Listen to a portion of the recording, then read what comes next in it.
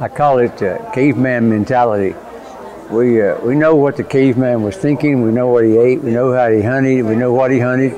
20,000 years ago, simply by studying drawings on the walls of caves around the world. And those guys that actually were artists of their time, they described their message with a drawing. And as they did that, they became better over the, over the years. And the evolution of the mind, as you can see, has gone to the space age. But when you when you draw what you can see, you can start to see more. And as you see more, you can draw more. And as you do both, you become a better mechanic. If you have a passion for what you want to learn, you get you get better at it day by day. And uh, I've always had enough artistic background in my mind to to make anything I wanted.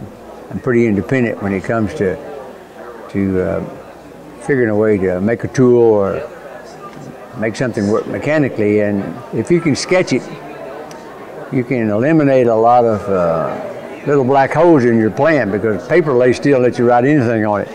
But there's some things that you can't actually make that you can draw.